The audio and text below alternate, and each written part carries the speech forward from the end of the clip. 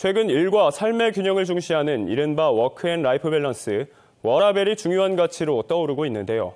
하지만 소규모 영업주를 비롯한 소상인들에게는 먼 나라 이야기입니다. 일하는 시간이 일반 근로자보다도 많지만 수입은 전국 최하위 수준인 도내 소상인들을 김기태 기자가 만나봤습니다.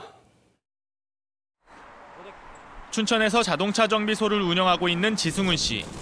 오전 9시부터 오후 8시까지가 영업시간이지만 밀린 주문과 장비 정비 때문에 잔업은 필수라고 말합니다.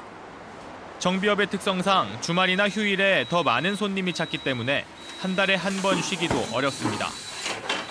보통 한 10시간 이상은 일을 하는 것 같고요. 뭐 더 할 때도 많죠. 아무래도 뭐 일이라는 게 정해져 있는 게 아니기 때문에 개인 시간이 없죠. 가족들하고 할 시간도 없어서 미용실을 운영하는 박서현 씨도 사정은 비슷합니다.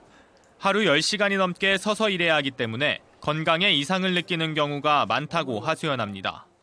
허리도 아프고 이제 하지 정맥류 같은 경우도 많이 생기고 어, 척추 디스크 그다음에 이제 손목 관절, 손가락 관절 이런 것들이 많이 있고 중소기업 중앙회에 따르면 강원 지역 소상인들은 하루 평균 10시간 정도 일하는 것으로 조사됐습니다.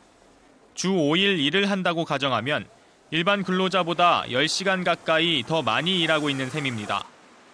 반면 평균 월 수입은 170여만 원으로 전국 최하위권에 머물고 있습니다. 장시간 노동에도 수입은 적어 소상인들의 삶의 만족도는 갈수록 떨어지고 있는 겁니다. 장기화되는 불경기와 최저임금 인상, 근로시간 단축까지 지역 소상인들은 삼중고에 시달리고 있습니다.